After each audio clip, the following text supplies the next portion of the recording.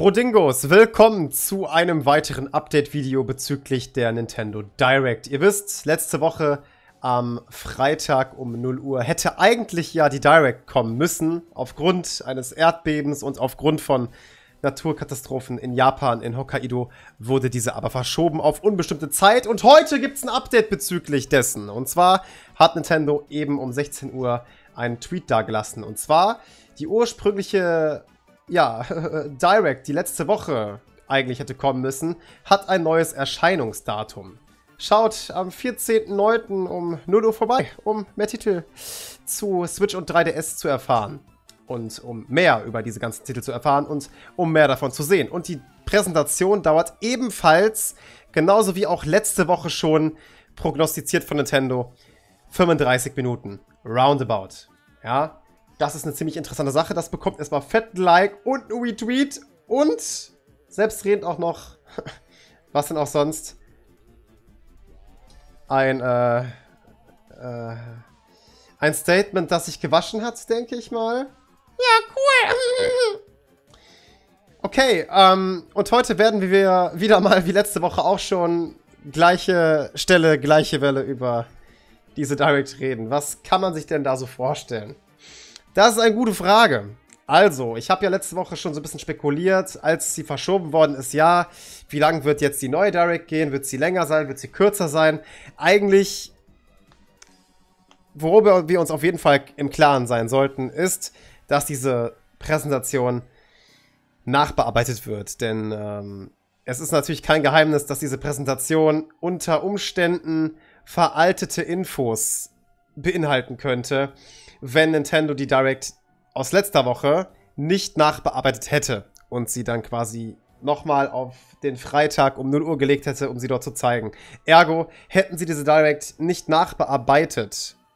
Wir wissen natürlich immer noch nicht, ob sie sie bearbeitet haben oder nicht. Ich denke schon, ich gehe davon aus, aber ähm, es wäre nicht so ganz sinnig, wenn Nintendo veraltete Infos zu einem späteren Zeitpunkt raushaut. Die können jetzt nicht äh, am Freitag um 0 Uhr sagen, ja, Leute, am Freitag, den, ich glaube, 7. September erscheint Yokai Watch Blasters. Das ist ja schon längst erschienen. Das ist ja schon längst in der Vergangenheit. Dementsprechend müssen sie dahingehend die Direct nachbearbeiten, um sie aktuell zu halten. Und ich bin mal sehr gespannt, welche Spiele für Switch und 3DS angekündigt werden. Vielleicht wird es auch sogar Neuankündigungen geben, da in der Direct oder da in der Zeit, in der mh, mm, ja, die Direct nachbearbeitet wurde, nachbearbeitet wurde, neuer Stuff mit dazu kam. Das werden wir sehen. Jedenfalls hat Nintendo einen neuen Tweet dagelassen.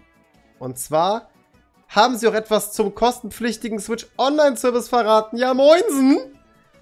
Und äh, Mehr dazu wird am 14.09. in Erfahrung gebracht. Aha, okay.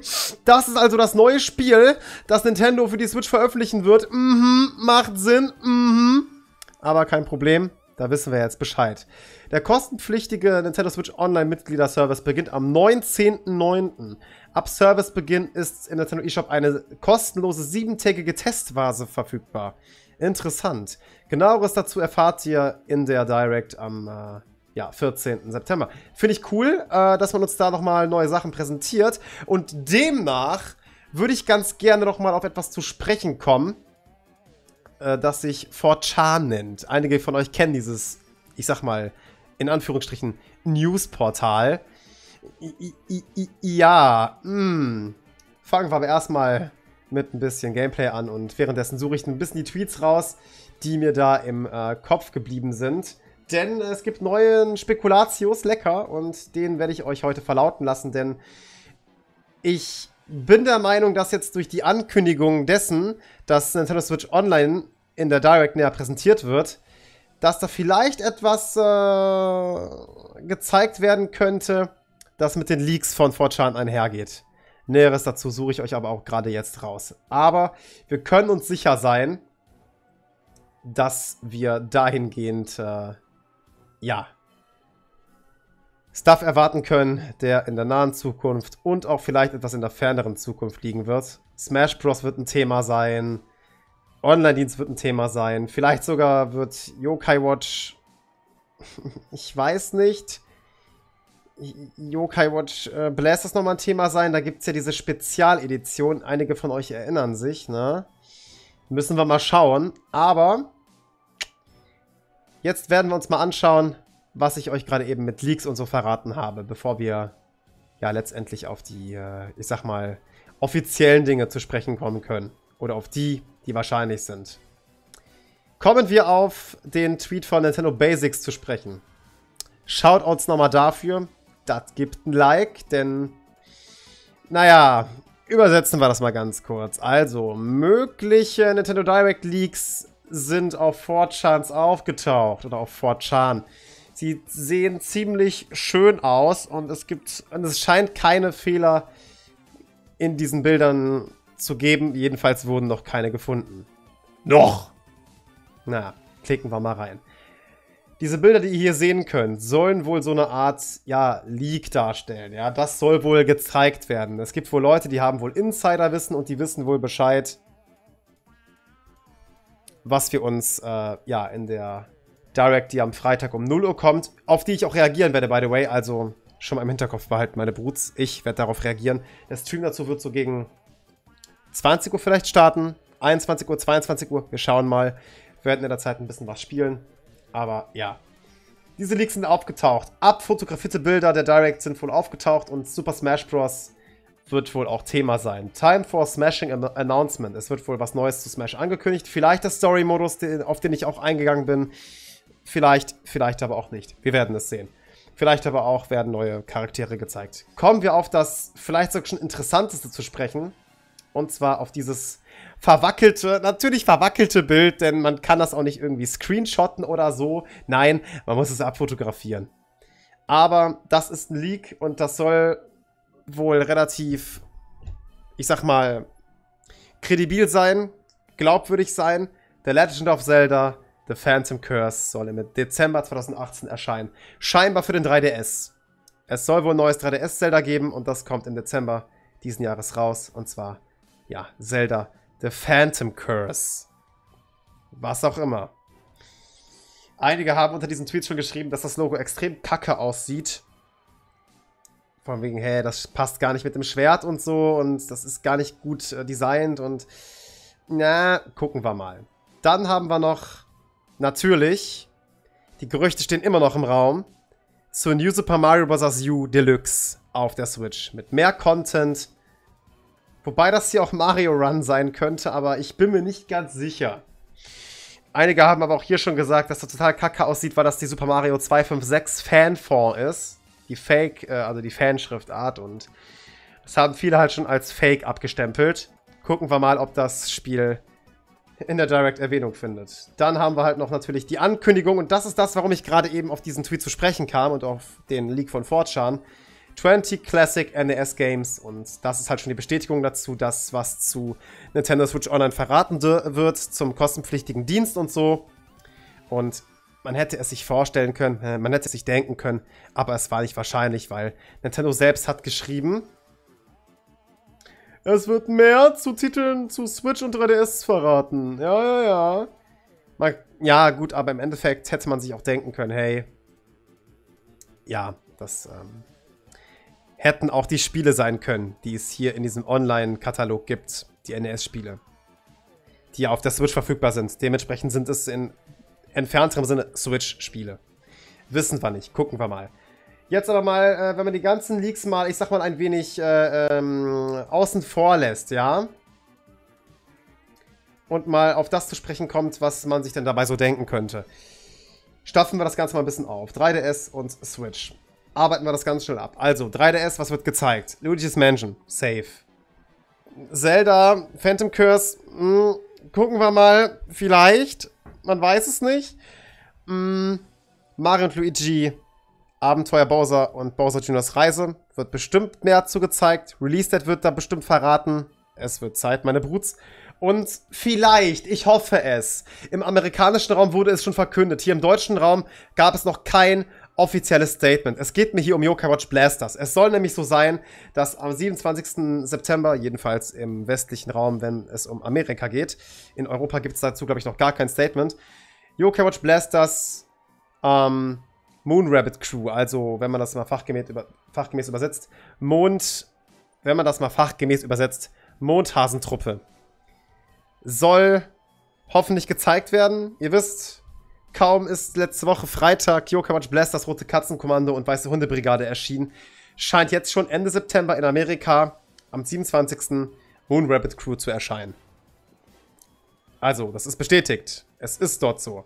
Ob das Ganze in Europa auch der Fall sein wird, also auch quasi in Deutschland, werden wir sehen, wenn es in der Direct angekündigt wird, ob Yokai Watch Blasters Mondhasentruppe gezeigt wird. Wir werden es sehen. Boots. Das soweit zu den 3DS-Titeln, weil mehr fällt mir jetzt gerade nicht ein, außer Luigi's Mansion und Mario und Luigi, Yokai Watch. Das ist so das Wichtigste. Und vielleicht noch dieses Zelda. Man weiß es nicht. Kommen wir zu den Switch-Titeln. Ich denke mal, und ja, da muss man jetzt kein Experte oder so sein, wenn ich sage, dass wir auf jeden Fall was zu Smash Bros. sehen. Klar, ne, da wird safe noch was zu gezeigt. Das meiste wurde ja schon erklärt zu Stages und Musik und MP3-Player. Ihr wisst davon, ne? ihr habt alle davon gehört. Deswegen, ähm, ja, gucken wir mal. Aber neue Charaktere werden cool. Ich meine, it's time for Smashing Announcement. Da wird bestimmt was zu gezeigt. Gut, hoffentlich. Gucken wir mal. Vielleicht neue Stages, Story-Modus, Charaktere. Gucken wir. Der Torna-DLC von Xenoblade Chronicles 2 wird bestimmt auch ausführlichst erklärt. Wir kennen Nintendo. Der erscheint am 21.09., wobei ich auch gehört habe, dass er schon am 14. erscheint. Ganz so sicher ist man sich da nicht, aber das soll ja wohl am 14. erscheinen und da wird Nintendo bestimmt sagen, um Mitternacht, wenn es dann auch quasi rauskommt, hey, also jedenfalls Mitternacht für uns, hey, das Ding ist jetzt im eShop verfügbar. Und wenn es verfügbar ist, werde ich sofort, sofort nach dem Stream vielleicht mal gucken mit dem ersten Part des Let's Plays beginnen von dem DLC. Wenn es verfügbar gemacht wird, aber ich denke schon. Am 5.10. erscheint Super Mario Party und da wird auch was zugezeigt. Vielleicht zum neuen Modus, mal gucken. Vielleicht zu äh, neuen Minispielen, man weiß es nicht. Gucken wir mal. The World's Ends With You für die Switch. Vielleicht zeigt man da auch was zu. Und ansonsten, was haben wir noch hier? Ähm, oh, da gab es ja noch hier dieses Travis Strikes Again, ne? Genau. Da wird bestimmt auch noch was zugezeigt. Dark Souls wird bestimmt auch noch mal ganz kurz erklärt oder ganz kurz gezeigt, hey, kommt am 19.10. raus, nachdem wir so viel davon gezeigt haben. Jetzt kommt endlich Starlink Battle for Atlas mit dem Switch-exklusiven Content. Vielleicht kommt da auch was zu raus. Wir wissen es nicht, das werden wir ja eben sehen. Gucken wir mal. Pokémon Let's Go Pikachu, Let's Go Evoli, vielleicht werden da neue Trailer gezeigt, vielleicht wird da neues Gameplay-Material gezeigt. Wir werden es sehen. Mhm. Ansonsten Undertale bekommt vielleicht noch kurz die Aufmerksamkeitsspanne. Da müssen wir sehen. Yoshi für Switch. Ganz wichtig. Yoshi's Crafted World. Safe. Das Spiel wurde ja letzte Woche quasi schon äh, von Nintendo of America geleakt auf der offiziellen Nintendo of America Website. Und das Spiel heißt Yoshi's Crafted World. Auf Chinesisch Handcrafted, deswegen, ne? Ähm, wird auch was zu gezeigt. Gameplay-Material en masse. Da wird bestimmt eine Menge von den 35 Minuten abgezogen. Wisst ihr Bescheid. Bayonetta 3. Gucken wir mal. Vielleicht. Metroid Prime 4. Gucken wir mal. Hm. Vielleicht. Fire Emblem Three Houses. Gucken wir mal. Hm. Vielleicht. ja, moin. Demon X Machina, aka die, äh, das Spiel, ähm, welches dafür gesorgt hat, dass mein letztwöchiges äh, Direct-Video geclaimed worden ist. Vielen Dank, ähm, Drecksentwickler und Publisher von Demon X Machina. Fickt euch, Alter. Mein erster Claim, seitdem ich bei Alliance bin, und den habe ich dieses Spiel zu verdanken, da ich dort Gameplay-Material gezeigt habe. Ja, leckt mich. Wird vielleicht auch noch was zu gezeigt, wir werden es sehen, aber ähm, wäre mir im Grunde egal. Ne? Wenn man meine Videos claimt, obwohl ich managed bin. Nur weil ich ein bisschen Gameplay gezeigt habe, was Werbung ist, also was soll das? Dann, äh, ja, leckt mich. Ihr seid mir voll egal. Das wäre soweit alles an Spielen. Bodingos, was erwartet ihr denn so? Schreiben Sie es in die Comments. Und ansonsten würde ich sagen, wäre es das für dieses Video. Bis zum nächsten Mal. Wenn es euch gefallen hat, lasst einen Daumen nach oben da. Und wenn ihr mehr von mir sehen wollt, und ihr habt diesen Kanal bisher noch nicht abonniert, dann macht das, damit ihr nichts mehr von der wunderschönen Direct verpasst, die Freitag kommt, auf der ich reagieren werde, auf die ich reagieren werde. Hauen Sie hinein!